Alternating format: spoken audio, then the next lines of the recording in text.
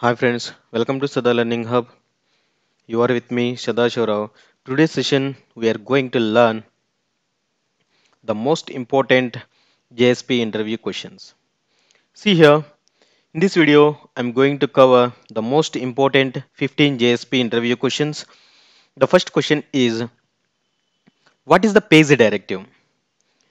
A page directive is to inform a JSP engine about the headers or facilitates that the page should be get from the environment. Typically, the page directive is found at the top of almost all of the JSP pages. There can be any number of page directives within a JSP page. If you see, this is the syntax, the page, this is the directive attribute, this is the value. If you see, this is the directive this is the include directive. I'm adding the file. I'm giving the file. What it is saying include means i'm including the header.jsp into your my page. Response into my page. The page directive it informs the jsp engine about the headers or a facilitates that page should be get from the envir uh, environment Typically, the page directives is found at the top of almost of all the JSP pages. That is the about page directive. The next question is what are the attributes of page directive? See here, I'm going to explain some of the attributes of the page directive. There are the 13 attributes are defined for a page directive for which I'm going to discuss about some of the most important attributes there is a 13 attributes are available. The import attribute. The import attribute it specifies the package that are to be imported. The next one is the session attribute. The session attribute it specifies whether the session data is available in the JSP page or not. Content type attribute. The content type attribute it allows a user to set the content type for a page. Just it is set allows the user to set the content type of the page. The next is is EL ignored. It specifies where whether the expression language are ignored when JSP translated to a servlet. See here, there is a 13 attributes are available for the page directive. Now I am going to discuss the most important attributes. Those are import, session, content type and is EL ignored all these are specifying to the JSP engine some information just information. Import what it is specifying? It is specifying to importing the sum of the classes into our JSP pages. The next session what it is specifying? It is specifying whether the session data is available on the JSP page or not. Just the directive means the page directive means the page directive itself it's specifying it is uh, giving information to the JSP engine. The next question is what is the include directive? There are the 13 attributes are defined for the page directive of which is the important attribute as follows. If you see include directive, include directive is the one of the directive available in the page directive. The include directive is used to static statically inserts the content of the resources into your current JSP. This enables a user to reuse the code without duplicating it. It includes the content of the specified file at the translation time. If you see the syntax of the include directive, if you include is the directive and it takes an attribute called file and a file name. The directives has only one attribute called file that specifies the name of the file to be included. If you in the C in the include directive we can specify which file you want to we are going to include we need to specify in the include directive. The next question is what are the JSP standard action tags? What are the JSP standard actions? A JSP standard actions effort affects the overall runtime behavior of a JSP page and also the response sent back to the client. If you see a JSP standard action tags affects the overall runtime behavior. Means if you see for example forward tag forward standard action tag. The forward standard action tag, what it is does, it forwards your request and response to one page to the another page. It may be a page or it may be a servlet. Means it is changing the overall runtime behavior of our JSP page.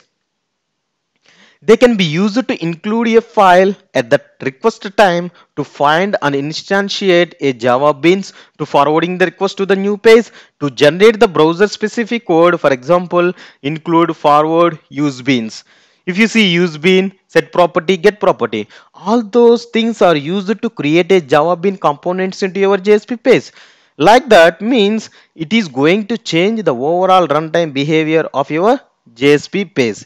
The next question is what are the standard action tags available in the JSP page?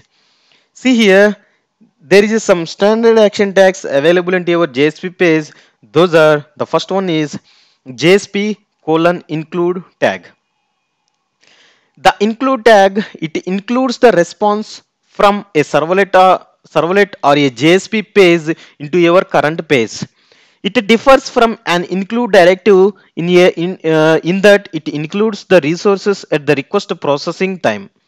Whereas the include directive includes the response at the translation time. See here, there is a two tags are available. The include directive and include action tag. The include directive includes the resources at the translation time but include action tag includes at the runtime. The next standard action tag is JSP colon forward. It forwards a response from a servlets or a JSP page to the another page. The forward standard action tag is it forwards the response from servlets or a JSP page to the another page. The next one is JSP colon use bean. It makes a Java bean available to a page and instantiates the Java, eh, Java bean. See here, if you want to create a Java bean object, we can use the use bean to create our Java bean object into your JSP page. The next one is eh, JSP colon set property. The JSP colon set property, it sets the properties of your Java bean. Next JSP colon get property. The JSP colon get property is used to get the properties from your Java bean. The next one is JSP colon param and params tag. It is used in the conjunctions with the JSP colon forward tag or a JSP colon plugin tag to add the parameters to the request. These parameters are provided using the name value page.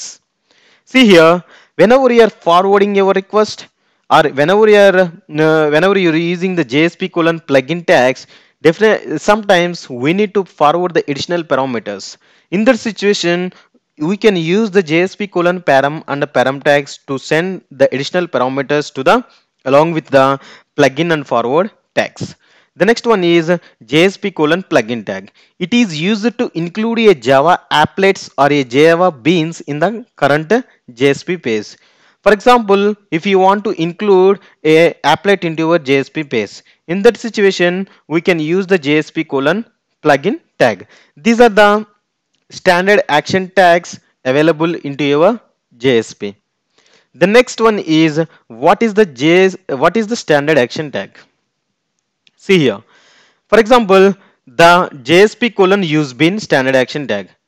What it is used to locate an existing Java bean or to create a Java bean if it does not exist it had an attribute to include the object instance to specify the lifecycle of a bean and specifies the fully qualified class path type. The standard action means it gives a particular functionality. For example, if you take a Java use bean, the use bean means what it is first it creates first it checks the java bean object is available in your page or not. That java bean is available it, it gives the java bean object. If it is not available it creates a new java bean object and it will give it to you. That is called standard action tag. The next question is what are the scopes are available in the jsp colon use bean? If you see the scopes are available in the JSP colon use bean or there is a four scopes are available for the use bean. The first scope is page scope. whenever you are creating a Java Bean object in your page scope, that Java Bean object it possible to use within the page scope only. The next one is request scope. Whenever you are creating a Java Bean object in the request scope, it will be available the Java Bean in the throughout the request. The next one is uh, application scope. Whenever you are creating a Java Bean object in application scope, it specifies that object will be available throughout the entire web application but not outside of the web application. The next scope is session object, session scope, sorry. The session scope, whenever you are creating a Java Bean in the session scope, it specifies that the object will be available throughout the session with a particular client. These are the four scopes we can create your Java Bean object into your JSP page. The next question is what is the JSP colon forward standard action tag? See here the JSP colon forward, uh, forward standard action tag forwards the response from servlets or a JSP page to the another page. Whenever we are sending the whenever we are forwarding the response whenever we need the forward the response we can use the JSP colon forward tag it will be used to forward a servlets or a JSP to the another JSP. The execution of the current page is stopped and the control is transferred to the forward page. Whenever you are forwarding the request, automatically it uh, it stops the uh, it stops the current page and the control is uh, to the forwarded page. If you see the syntax, we can use this uh, syntax whenever you are using the JSP colon forward tag. The next uh, here if you see in this syntax there is a target page is available. The target page can be you can be a JSP page on a HTML page or it may be a servlet. We can use it in any any of these three. If anything is written uh, to a output stream that is not a buffered before a JSP colon forward and illegal exceptions will be thrown. Whenever we are intended to use a JSP colon forward or a JSP colon include in, in a page, buffering should be enabled but default buffer is enabled. Anyways, default buffer is enabled must and should whenever you are using the JSP colon forward and JSP colon include must and should we need to enable our buffering. The next question is what is the JSP colon include standard action tag? The JSP colon include standard action tag enables the current JSP page to include a static or a dynamic resources at a runtime. If you see here, this is the JSP colon include standard action tag. Whenever you are using the JSP colon include standard action tag, it will be include a static or a dynamic content at the runtime. See here, here, here this include this action tag it includes the response at the runtime, not translation time, at the runtime. In the countertag to the include directive, if you see in the include directive, it will be include at the translation time. If you see, there is a two tags are available. There is a JSP colon include standard action tag and the JSP uh, the include directive the JSP colon include standard action tag. It will be include a static or dynamic resources at runtime. But coming to the J in include directive it will be included at the translation time. The next question is uh, what is the difference between include directive and include action if you see include directive and include action, the include directive includes the content of the specified file during the translation phase. And coming to the include action tag, it includes at the runtime. And coming to the include directive, the include directive is used to statically inserts the content of a resources into the current page. See here, it statically inserts the content of the resources into the current JSP page. This include standard action tag enables the current JSP page to include the static or dynamic resources at runtime.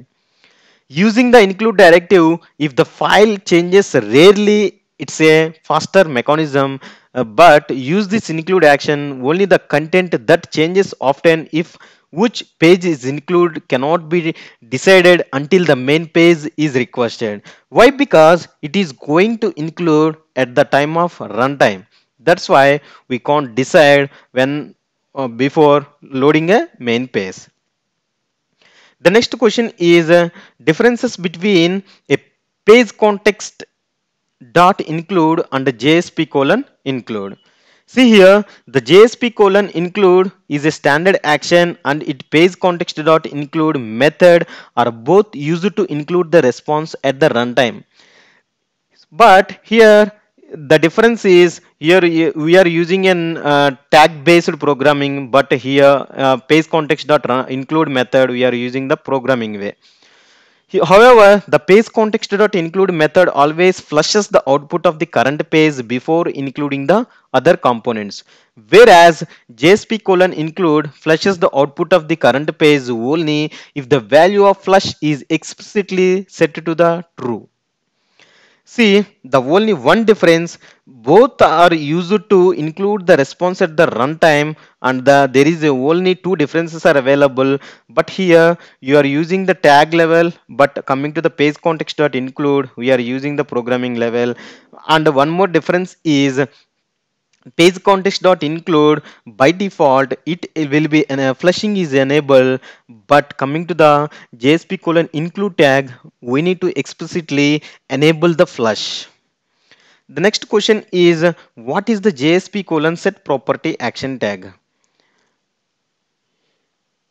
See here in the jsp standard action tags there is a one tag is available that is called jsp colon set property tag you use the JSP colon set property to give a values to the properties of a bean that have been refreshed earlier.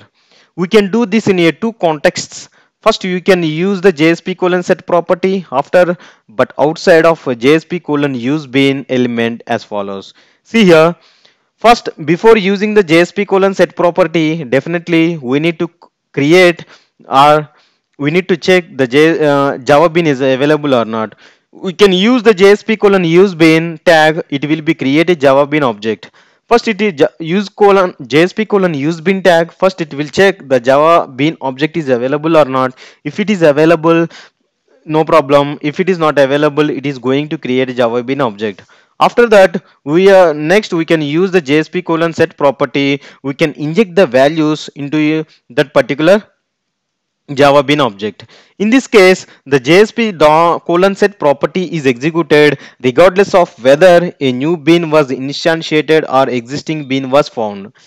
If you see in the second context in which JSP colon set property can appears is inside the body tag of a JSP use bean element. If you see here, I'm creating creating a JSP colon use bean. Inside the JSP colon use bean, I'm going to set the property by using JSP colon set property for setting the values of that particular, setting the properties of that particular Java bean object. These are the two ways to create a, uh, to use the JSP colon set property tag. The next question is, what is the JSP colon get property tag? The JSP colon get property action is used to access the properties of a bean that was set using by the JSP colon get property action tag. The container converts the properties to the strings as follows. It is uh, if it is an object, it is used to the method to convert to it to string. If it is a primitive, it converts it directly to the string using the value of method of a corresponding wrapper classes if you see if you want to get the properties of a particular java bean we can use the syntax like this. Jsp colon set property name is equal to we, which java bean we are going we are getting the property and which property we are getting the value. We just we can use the jsp colon get property like this See here, in this line, name is an ID of a Java bean from which the property was set. The property attribute is the property to get. A user must create a local bean using the JSP colon use bean action before using the JSP colon get property. See here, before using the JSP colon get property, definitely we need to create a Java bean object by using the JSP colon set property. Otherwise, it going get an exception. The next question is what is the use of JSP colon param standard action? The JSP colon param standard action is used with JSP colon include or JSP colon forward to pass the parameter names and the values to the target resources. See here, whenever you are using the JSP colon include or a JSP colon forward, definitely sometimes we need to forward the additional parameters along with this request. In that situation, we can use the JSP colon param and JSP colon param tags, mm, params tag to send the additional parameters along with the your request for in, include and forward tags. The next question and final question is what is the JSP colon plugin action tag?